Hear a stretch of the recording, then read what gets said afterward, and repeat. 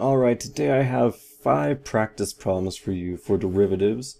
Uh, the first two, are, again, are going to be fairly simple, and then the third and fourth question will require a little bit more thinking, and we'll go back to an easy one for the fifth. Okay, number one. f of x is equal to x to the seventh over sine of x. The tricks you're going to need here are the quotient rule and your trig derivatives. So see if you can find the derivative of f of x. Alright, let's take a look here. f prime of x is equal to, well the quotient rule says the derivative of the top multiplied by the bottom minus the top times the derivative of the bottom. And this is all over the bottom squared. So I'm not even going to factor out anything here. This is the final solution to the question. This is all you need to leave it. So this would be uh, full marks right here. Again, that, that was much easier and probably not a question you would get on a final or a midterm. Question number two. We're going to use y is equal to 1 minus 3x to the power e. Now, see if you can find its derivative. Well, this one seems tricky because I put in a number e there, but just remember e is a constant, so all we're applying here is our chain rule. So, take the derivative of the outside, so that's e times 1 minus 3x to the e minus 1 multiplied by the derivative of the inside, which is negative 3. So this is really negative 3e, 1 minus 3x to the e minus 1. You can't rewrite e minus 1 any simpler, so again, that is a perfect answer for full marks. The e was just there to trick you. It is a constant. You must remember that e as itself is a constant. If it was e to the x, it'd be a little bit different, and I don't think we can necessarily do it at this point in time. So, with that, let's move on to the third question, which is much more involved. So we have an equation here. y is equal to 2x cubed plus 3x squared minus 12x plus 5. And we want to know where is the tangent line horizontal. So what does this mean? Well, the tangent is the derivative, and horizontal means that the slope is zero. So we want to know where y prime is equal to zero. So here we go. y prime is equal to, oh look, this is a very easy derivative. 2x cubed becomes 6x squared plus 6x minus 12. let's do some factoring here. We get x 6 times x squared plus 6 minus 12 and we can factor even further. So this becomes, see what do we have here? Actually, I screwed this up. x squared plus x minus 2. That explains why I can't factor it in my head.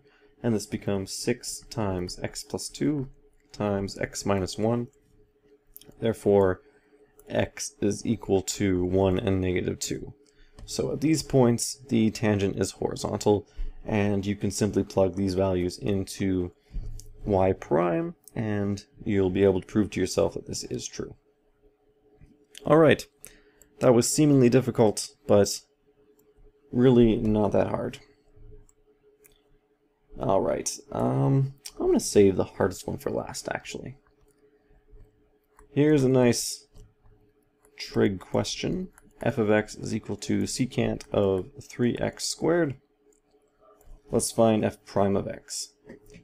So here we have our chain rule, and this part right here might throw you off. What do I do with this when I have the derivative of secant, which, if we take a look here, f prime of x is going to be secant times something, tan times something, and then we're going to multiply it by the derivative of the inside, which is 6x.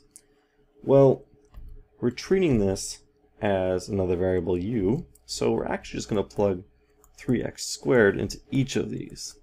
So this might have seemed complicated, but if you separate variables and substitute and do your substitutions in Leibniz notation, which is dy dx is equal to dy du times du dx, then this might be a little bit simpler to understand conceptually, but we just plug it into everything here. 3x squared.